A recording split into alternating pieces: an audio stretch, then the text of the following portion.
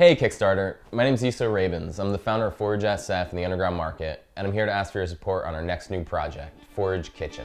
The Underground Market was an event I started in the fall of 2009, and the whole idea behind it was to help small food makers to get their start without all the fees and red tape that stop so many people. It was an event that drew thousands of eaters every month and helped scores of businesses get off the ground.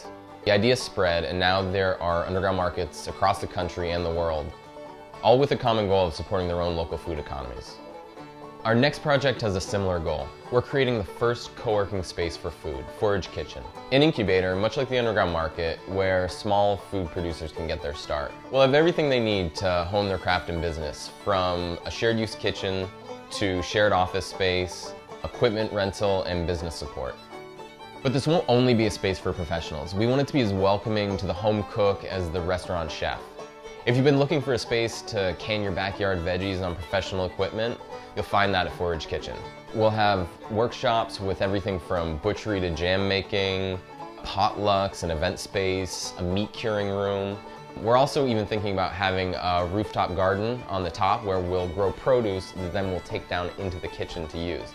Um, super exciting. We've spent the last year getting the plan ready, we have a space picked out, and now all we need is your support to help make it a reality. The way Kickstarter works is if we don't get to our full goal, we don't get anything. The money we raise from Kickstarter will go towards hiring contractors as well as buying all the kitchen equipment we need and all the thousand other little things that cost money in a project like this. We want to create a home for food makers, a hub for the entire Bay Area food community, but also something that can be a model for the food movement across the country. If we're going to create any real change around food, we need spaces like Forage Kitchen. And with your support, we can make it a reality.